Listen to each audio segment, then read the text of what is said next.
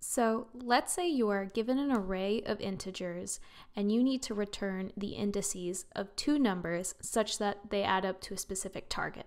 This problem is extremely common, found in many, many technical interviews, and it's also called two-sum by LeetCode. So let's get started and pseudocode this first. Okay, so we have our given array and we have our target number. And we know from the instructions that there is only one pair of numbers in the given array when added together equal our target of 9. So what is the most efficient way we can do this with only one for loop? Start off, we need to create a new map. And this is because we need to keep track of some key value pairs.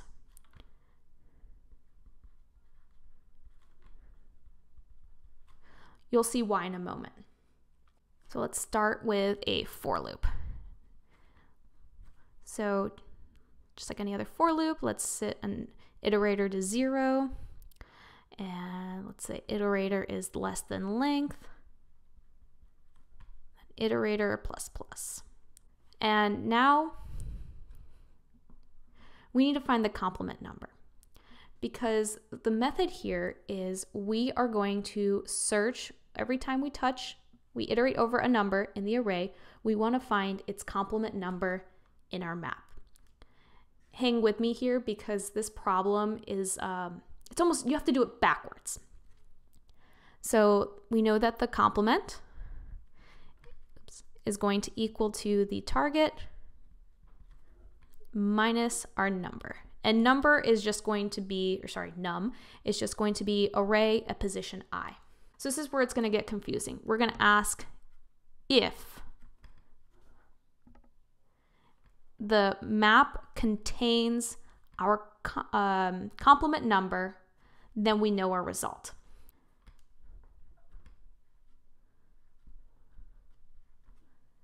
Okay. So this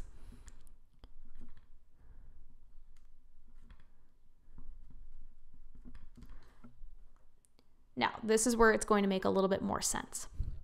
If the map does not contain the complement, we are going to add the number and the iterator to the map. So let's let's walk through this together. So let's say we are at position 0 and our number is 1. So we know that the complement is going to be 8. And our map is empty right now. We're going to put the map right here. We know it's empty. So we are going to add the number and the iterator into the map. So we have our number and our iterator, our position, sorry. So let's go to 2. We know that the complement is going to be 7. But our map does not have a complement in it. We don't have 7 in our map. So we are going to add our number and our iterator to the map. And let's go to 5. We know the complement is 4, and the map does not contain 4 as a key value. So we are going to add 5, position 2 to our map. Now let's go to 7.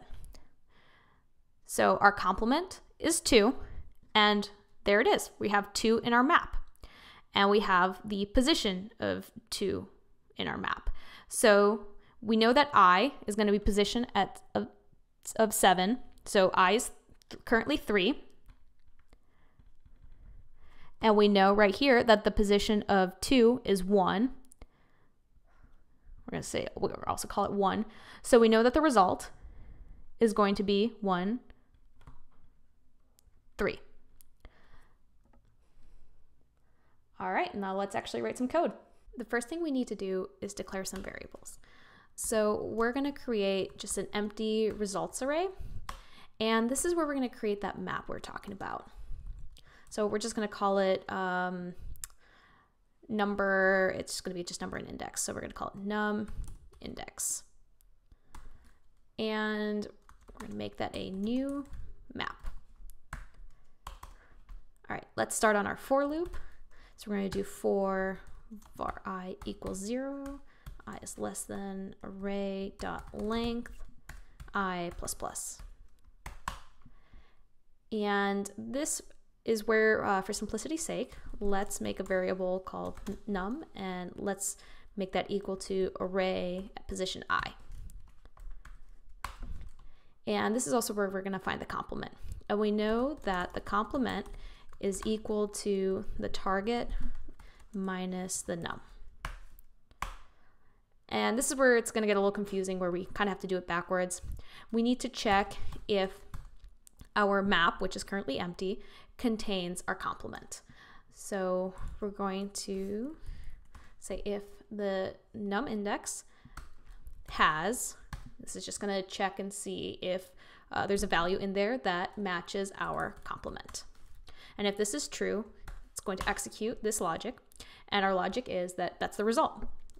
So we know that our result uh, at position zero, because we just need to return indices, is equal to our num index, and we need to get the indice where uh, the complement is our key.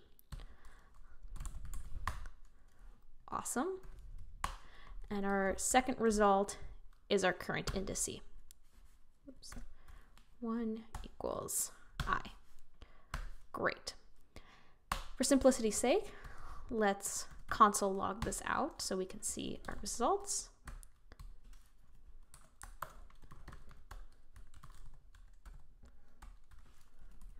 And let's return result.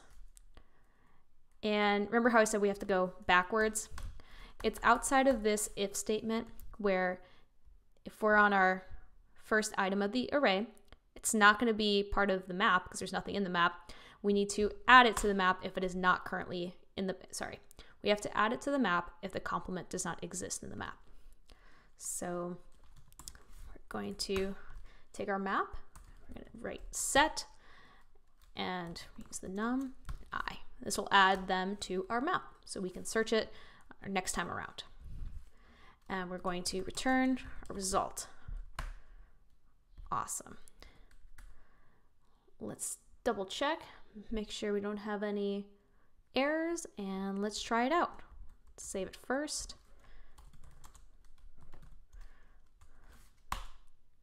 Awesome. And we have the right answer. We know that 9 is equal to 2 plus 7. 2 is in position 1. 7 is in position 3. Thanks so much for watching and like and subscribe for more.